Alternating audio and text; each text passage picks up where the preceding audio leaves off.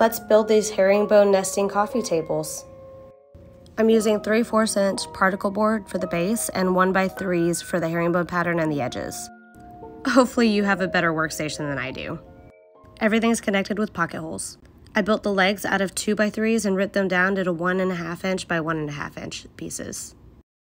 Then I primed and painted them tricorn black.